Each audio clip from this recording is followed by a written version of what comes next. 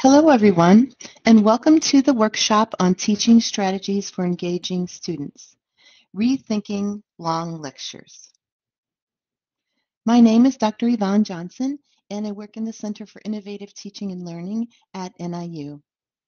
I help faculty, instructors, and graduate assistants with pedagogy, andragogy, and integration of multimedia, as well as conducting other teaching and technology supports. Today we're going to be talking about lectures and what's happening in lectures, why it's happening, revamping the lectures, and techniques that you can use to increase attention and engagement. First, let's consider what's happening in lectures.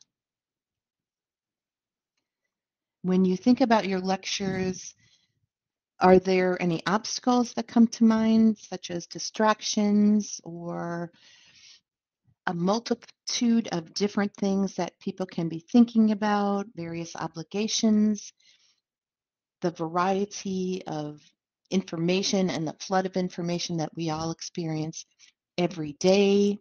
Are there stressors that can be impacting their the attention of students, maybe your attention as an instructor, and other types of, of demands that might be pulling on students' time and attention.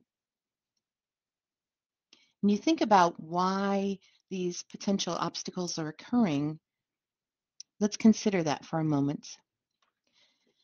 Don't take it personally. Lapses in everyone's attention occur throughout the day and it's it's just part of the way that each one of us functions and one of the things that research shows us is that students are more attentive in the lecture and the techniques when a variety of different approaches are used and when they're engaged. And if we think about ourselves as faculty instructors, we are also more attentive and engaged when we have varied approaches and interactions in our lectures and our discussions. And we're going to be looking at some ways that you can revamp the lecture to make it more engaging and to keep the students' attention and involvement throughout the lecture. One of the important foundational aspects is starting with organizing a lecture. And it's just like when we write a proposal, we prepare a scholarly publication, we prepare for a project of any type, um, make an artistic creation, get involved in some type of a project, we organize and we prepare for that. And we want to do that with our lectures as well. You want to have the purpose of the lecture. So think about that when you are organizing your lecture. What's the focus? The focus. What's the purpose? And use that kind of as your guiding light when you are organizing and de designing, developing, creating this lecture. When you're presenting that, you'll elaborate on the topic, use and write the outline as you would for a uh, publication, some of those tips that we learned when um, many years ago when we were first learning how to prepare a a communication um, approach or some type of paper or social media type of approach.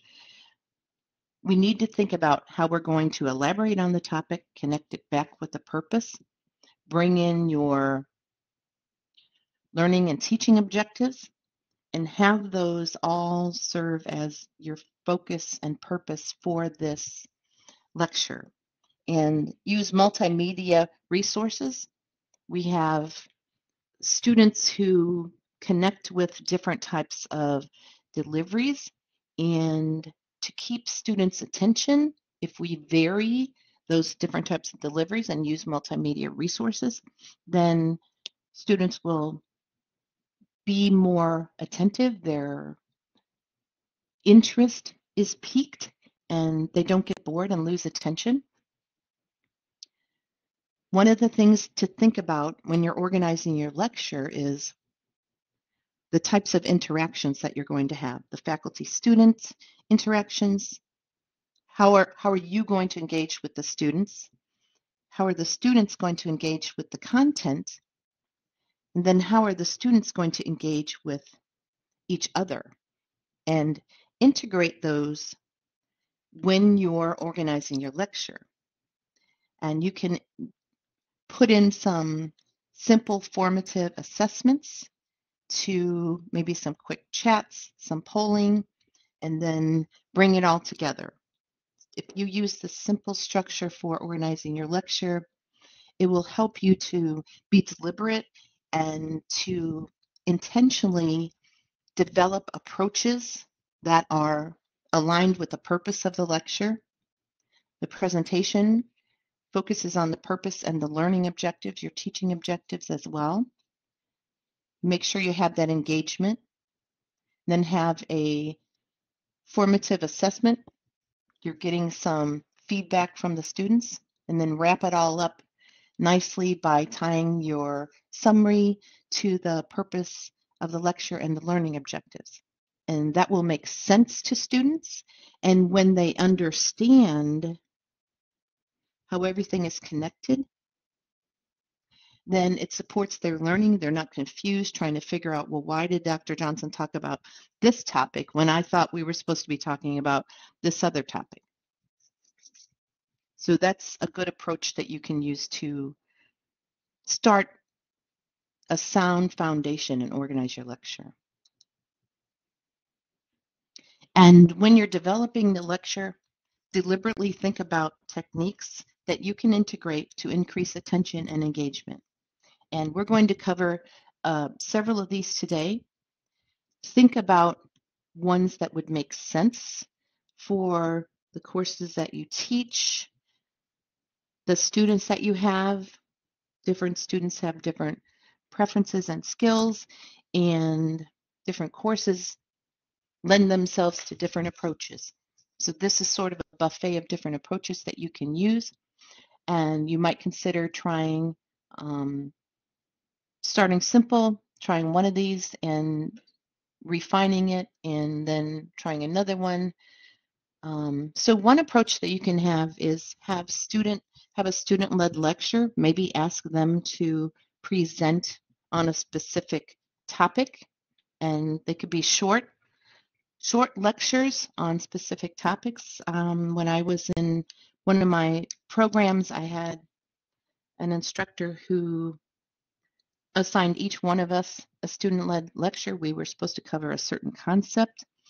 And it's, as we all know, when we teach, we learn content very well. So that's an approach that you might might consider. I would say select a, a very focused topic and have a short, ask them to do a short presentation, give them a couple of objectives that you want them to address, whether that's they need to address the key components of, of carbon, give an overview connected to a certain contemporary topic, something, but give them a couple of objectives that they're supposed to be addressing. And then they have the topic, they have a couple of objectives, give them a short time frame, maybe seven minutes, let's say. We know that as lectures get longer, people lose attention. So give them that criteria, and um, that might be something for you to consider. Another approach, flipped classroom. They do a lot of classroom activities where the lecture part is often recorded and the students review that. Then in the classroom, you apply those components from the lecture, those key ideas in activities. And we know that research shows when students are engaged and actively learning and collaborating that the content and the information moves from their short-term memory to their long-term memory because they're really working with with that content. And so flipped classroom requires that they address some of the content ahead of time and then you apply it with the engaging activities during the class. You might have mystery guests. We know that novelty piques people's interest, kind of like a cliffhanger. Maybe you have authors, professional experts. We all know people that are leaders in the field. Maybe you set up some short sessions with some of these people to and have a mystery guest so it kind of piques their interest and they say oh wow you know we had a, a session with this particular author we had a session with this famous researcher who's done so much work in artificial intelligence or something and so a little bit of novelty piques their interest and we also know that when emotions are a part of the learning experience that students remember things more. And we know from ourselves that if something was an emotional um, situation, that we're going to remember it more. And so if you create a little novelty and excitement, then they're more likely to remember it and to be excited about the speaker or that activity for the day. Micro lectures are important. What we found through research is that rather than hosting a an extended lecture, it's better to chunk it up on certain topics and create a series of, of mini lectures. And that also that helps students to focus on a certain concept learn that. You can really focus on that in the short, maybe five minute lecture, as opposed to having a 60 minute lecture where you address uh, many, many topics and then they may feel a bit overwhelmed after they've addressed all of these different topics. You've addressed all these different topics in the longer lecture. Micro lectures are also easier for you to update when you have a series of them focused on specific topics and something new comes into the, the field about that, then you go back and you can more readily address and revise that micro lecture than if you had to redo the entire 60 minute or however long longer lecture. And when you're thinking about micro lectures, Again, we go back to focusing on the learning objective.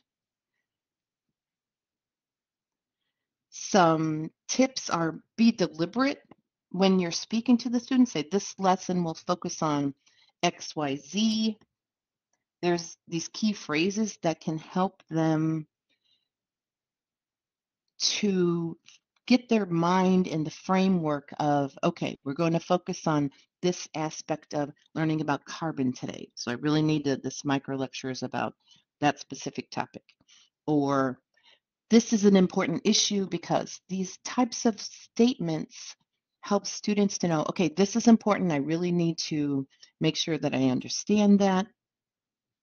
And then you're summarizing.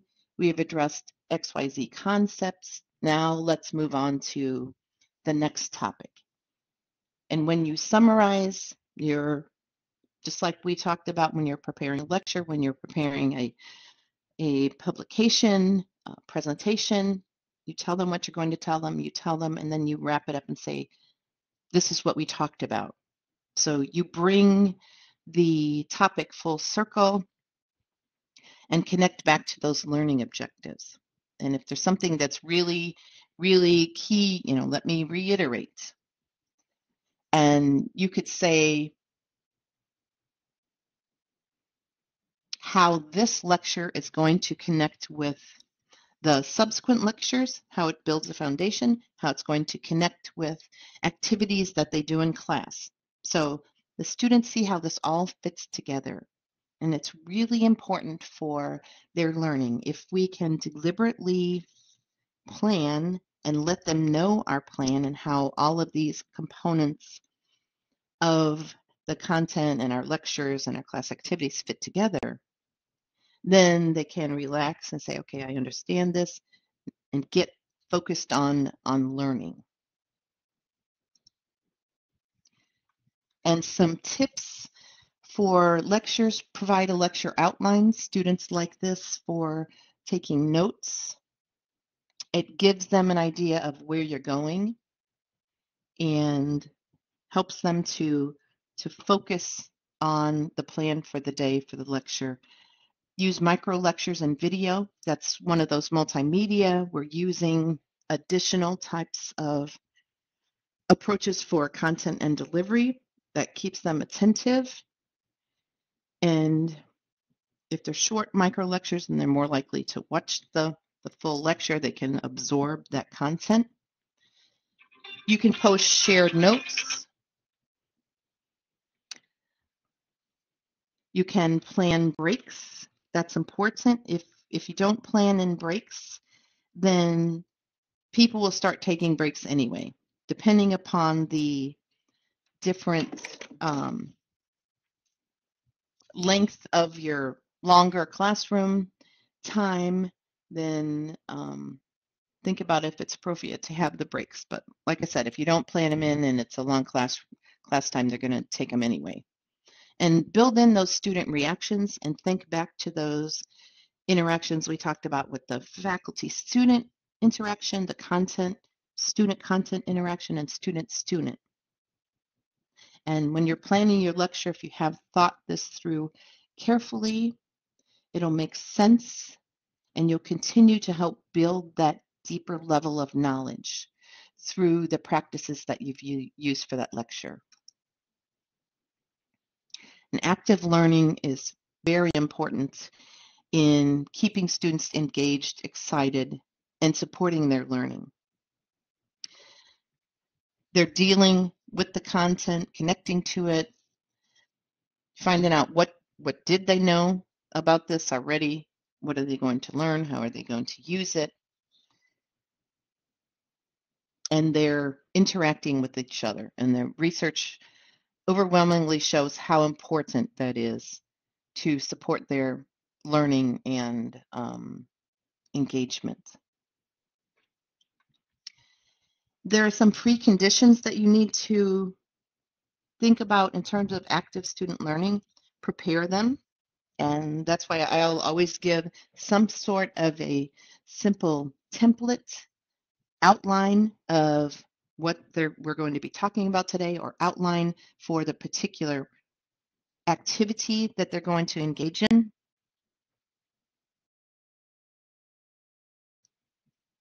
And when the students have that outline, they are, they can focus. They're not going to be spending their cognitive bandwidth on trying to figure out what they're supposed to be doing. And then motivation, what is their motivation? Why is it important for them to learn this? And you can ask students to think about the topic and, and why it's important you can ask them to bring in contemporary type of examples. You can also connect it with their future courses, with their careers, why this is important. And the absence of fear is also important because if they're going to be engaging with each other, they need to feel that they are in a, a safe space and that they need to understand that the learning process involves addressing things that they don't know. So for them to say, okay, I don't understand this, or I don't know this, or I'm, I need to ask questions, they need to feel that the learning space is safe. They need to feel that they're not afraid. And that, that goes to building that sense of community and connections, which starts from the first time you have contact with the students. And if you have those, you know, prepared some kind of a, a template, they have the information they need to be successful, understand, you know, what's the value of this, and feel that they are in a safe space and they're not afraid, then they're ready to engage in active learning. And the first five minutes of a class session is really important. And I always have some sort of a an activity right away when the class session starts to engage the students, redirect their attention from whatever they were doing before to the to the class that we are having at that time, to the content that we're having. And if you do that intentionally in the beginning of the class, then you're going to be transitioning them from their prior activities to being engaged and attentive in the class. And there's different approaches that you can use to do that.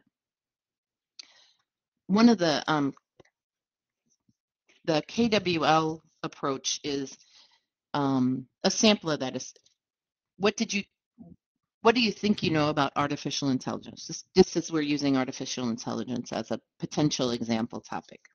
So what do they think they know? What do they want to know? And what did they learn? That's one approach that you can use to engaging the students right away when the, the session starts. Focused writing might be appropriate for um, a course depending upon what your topic is, what your discipline is. What is a piece of information that, that they learned that they didn't expect to learn?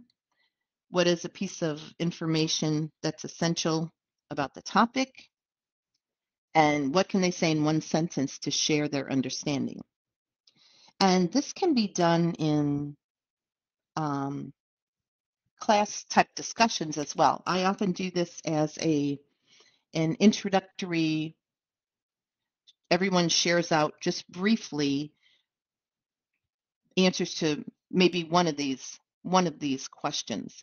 And I do that with my freshman students in UNIV 101 to get them comfortable talking in class, get them connecting with each other. They see that other students have the same types of questions and and um, are learning and discovering at the same rates. It helps them to feel more like they're part of a community. You can also do this with a focused writing as well.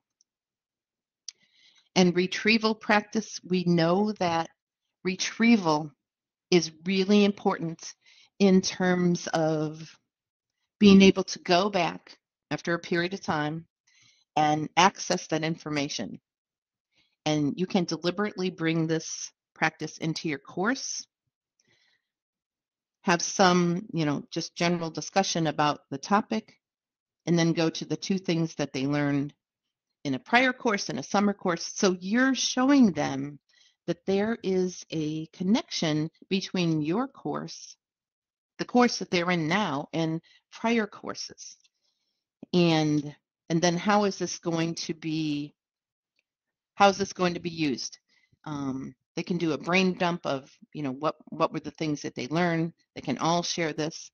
And then they're seeing that these courses are not independent. They all fit into the larger picture of of their learning and of their their coursework and of their life because these things that they're learning in the courses are valuable far beyond their um, college courses as well. And then web conferencing, we've all become very accustomed to web conferencing. You can use the polling and different ways to have them engage. And we have separate sessions on, on web conferencing, but just simple activities like the whiteboard, and you can have them just quickly jot down something and it it's kind of a novel thing but it's also a formative assessment type of approach. It's a way to see where they are in terms of understanding of the content. You can pull them to see maybe there are some some common questions that students have. And um, you can also have them share their screens. And when you're having the students share, that shows them that they're their perspective is is valued. And when you take that perspective and use it to adapt and integrate it with the course, then they're more likely to be engaged and active because they see that their voice matters in the course. And web conferencing can go a long way in, in doing that when you intentionally use it as part of your organizing the lecture and bringing in those different approaches that we talked about. You can use interactive quizzes. We have Kaltura, the system, and to keep them engaged on a certain topic, you might create a video um, and then integrate some quiz questions, and that's more interactive. And when you have video, it's you're again bringing in that multimedia, and it's a way to conduct those assessments in a in another way so that the course is not boring that you're using different types of of approaches and map it out you can have students create concept maps of the topics that you're talking about and i had students do this a couple of weeks ago in my course we were talking about different aspects of techniques they can use to be successful in college. And we had a few different, maybe three different main concepts. And then they mapped out these different concepts and how they could individually take advantage of NIU resources to support their success in college. It's always interesting to see a concept map because if if you ask students to map out a particular topic maybe the the concept that you're talking about is a hierarchical type of a concept. And you ask students to map just draw a simple picture of their understanding of how some of these different components of the the topic relate to each other. And let's say that they draw a spider type of concept map when there really is a hierarchical type of relationship between these different components of the concept or the topic you're talking about then that gives you a good idea okay they're they're not understanding that this part of the the topic is really higher up on the scale and these other components are a couple of levels down. Or maybe they draw a flow chart and that shows steps when really it's more of a spider type of outline. So concept maps can be very enlightening to you and to the students, and you can use them as sort of a formative type of assessment. You can also ask them the muddiest points a formative type of assessment that gets at what was unclear to them, what do they want to know more about, and you could do this uh, quick polling, you could do a quick Qualtrics type of a survey, you could do whiteboard activities, you could have something that they submit at the end of class, and then you can take action on that because so if there's a trend in your course that a number of students were unclear about a similar topic, you get this information from a muddiest point type of activity. And then the next class session, or maybe you put some additional resources in Blackboard, you can address that. Or if they're all excited about a certain, or many of them are excited about certain current events or something that's going on on campus that relates to your discipline, then you can bring more of that in. And then you're showing them that you've considered their perspectives, they're valued, that you are taking it into account, addressing them in the class sessions and in Blackboard, and bringing their voice to the table as a collaborator in this teaching and learning process. You can also ask tough questions, just how, what, when, why, about the certain complex topic that you all are talking about, and then just drill down to continue asking them to expand on their perspective. Maybe you ask additional students to expand upon that. And then you're bringing in a number of different people in the class to construct this knowledge as a community. And when the students see that, you know, you're addressing these complex, tough questions, you are getting them to help each other to share their perspectives and build upon each other's knowledge, that they really get excited about that and they're more likely to be engaged and, and active in that process. And think about what makes sense for you. We've talked about a number of different approaches that you might take. And what I would recommend is think about these approaches, select one that seems like it makes sense for you, try it out. You might ask your students, what did you think about this? Did it support your learning? Did it work for you as the instructor? And you know, refine it if it seems like it's going to be a viable option for you. Then try another one. I would not recommend just trying a whole bunch of approaches.